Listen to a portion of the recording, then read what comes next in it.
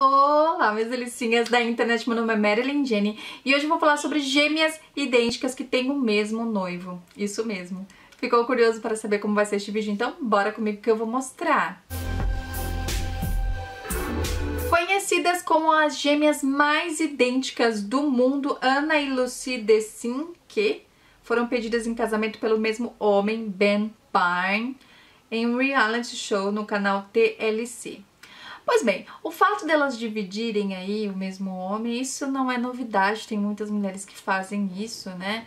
Uh, segundo elas, uh, elas não fazem menage, ou seja, não ficam os três ao mesmo tempo. Ele fica com uma em um momento, em outro momento fica com outra. E isso parece que foi bem acordado aí uh, entre o casal. Tanto é que, segundo elas, quando ele beija uma, depois ele tem que beijar outra. Quando faz uma coisa para uma mulher, faz uma coisa para a outra. Segundo, esse sujeito é bem aí uh, corajoso, né? Porque uh, é muita energia que você gasta para manter um relacionamento. Imagine dois relacionamentos. Então, olha, palmas para ele. Uh, o que me chamou a atenção nessa reportagem, na realidade, foi o finalzinho dela, que fala assim, ó. É, além de dividirem a mesma cama e de usarem looks idênticos, as irmãs também querem engravidar juntas para continuarem fisicamente parecidas. O plano é engravidar por fertilização in vitro. Ana dará início ao procedimento e logo depois será a vez de Lucy. As gêmeas zelam tanto pela aparência idêntica que já gastaram o equivalente a 2 milhões para ficar mais parecidas. Gastaram 2 milhões de reais para ficar uma mais parecida com a outra eu vi aí uma clara crise de identidade. Elas parecem que são uh, uma pessoa só e querem ser uma pessoa só.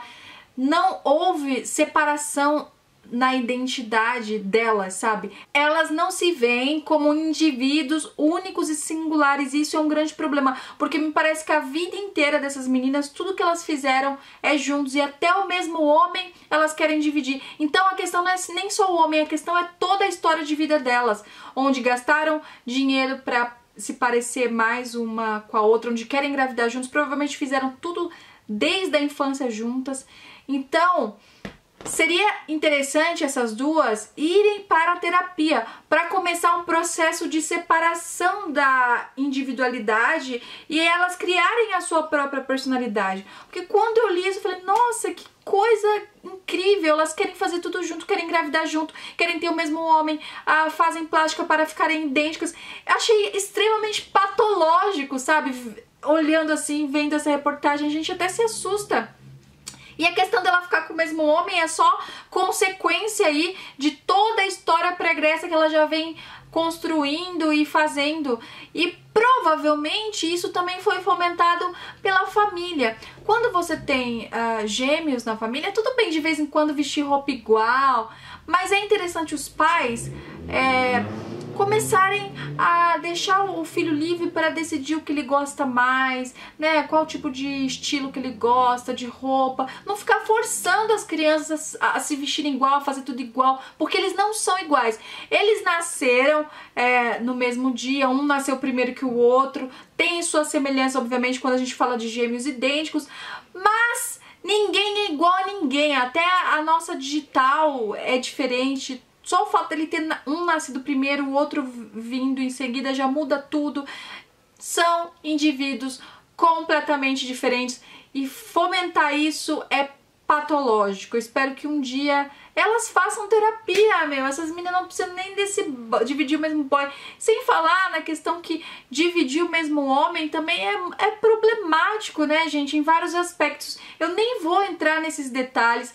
Não é questão de preconceito, cada um faz o que quer da vida. Eu sempre vou afirmar isso. Se você quer, vai lá e faz, contanto que não seja criminoso. Só que existem vários fatores aí que impedem a pessoa de viver a plenitude no amor quando você divide uma pessoa, né?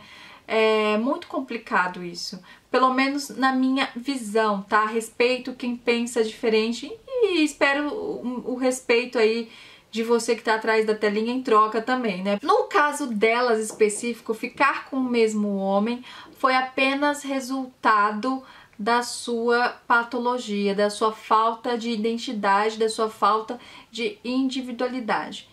Agora, dividir o mesmo homem, se tá tudo bem para eles, se eles se sentem confortável com isso, tudo bem, mas nesse caso em específico não foi legal devido a todo o histórico delas de dividirem tudo, de serem iguais e de. Enfim, gente, eu acho que vocês entenderam aí o meu ponto de vista. E você de casa, o que você achou dessa história bizarra? Me deixa aqui embaixo nos comentários porque eu quero saber. Se você gostou desse vídeo, não esqueça de deixar um gostei pra mim aqui embaixo, isso é muito importante para o crescimento do meu canal aqui no YouTube. E tem aquele botão que eu sempre falo por aqui, inscrever-se. Apenas um clique você já estará inscrito. Me siga lá nas redes sociais, eu vou ficar muito feliz de ter você comigo. Um beijão, mas um beijão bem grande nesse seu coração gigante. Fique na paz e até a próxima. Tchau!